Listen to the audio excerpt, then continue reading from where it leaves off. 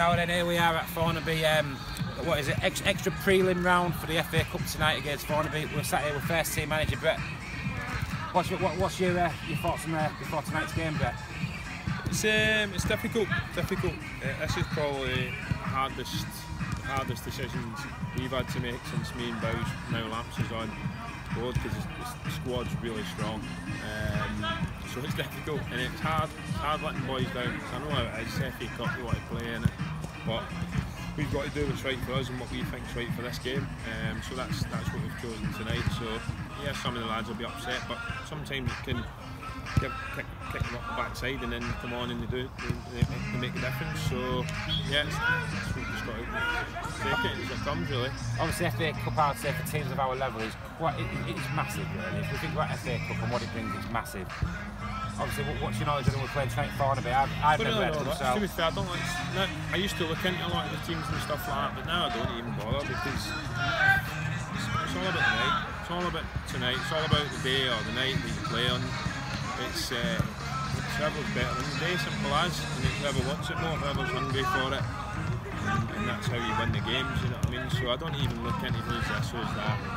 Sometimes it can, can work against you because you start thinking doubting yourselves or you start thinking you're a bit, oh, he's out or whatever, we can beat them. So I don't even look at them anymore.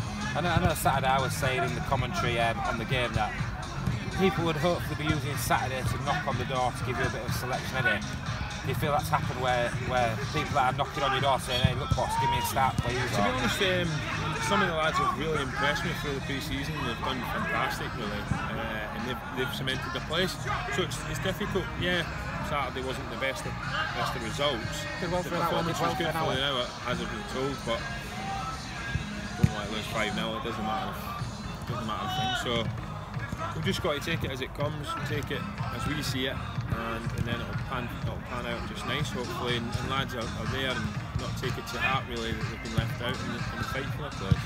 Obviously, I don't know how it works for teams since I take it it's gone in already. Like, we all talk about, obviously, I, I, what we know approximately 35 minutes till kick off. We all say, like, who you've gone with up top and stuff like that. Or... Yeah, of course, yeah. Um, we've got, we've went for.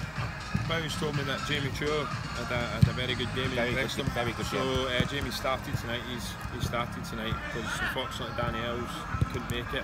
His work commitments just let him go. So we started with Jamie Chua on the right and Tom Wobbies in the front three now with Will, Will and, and Billy, which has got real energy in there, big presence, and somebody that can unlock the door like Will Annan. So He looks good. Pre-season, he's caught my eye. I know his, his school and he's obviously been Yeah. around football all his life. He's caught my eye, that Will. Obviously, He's free really, he's, he's quality, you know what I mean? I mean, Lewis Taylor's on the bench and he'll be really disappointed. I've just said to him in there, he's probably the one that should be the most uh, grumpy at me, really, because he's been great. But tonight is solely on Andy. The way Andy is, he's a presence on the pitch. He likes to wind people up and, and he can uh, can also get yourself in and about it. So When you're back for tonight, because obviously you've got, We've got Jenks, no doubt, sat Jenks is, is back three tonight, so Jenks is in the in the middle, Jack's on the left, and Jack's been outstanding. Yes. Jack's been probably the, the outstanding player of the pre-season, so this is big for him as well. He's got to keep it up and cement his place, and uh, Ben Lewis on the right, Yeah, yeah, cool. Well, and Leon Dawson plays on the left. it's our, it's, our, it's our first ever pre-match interview.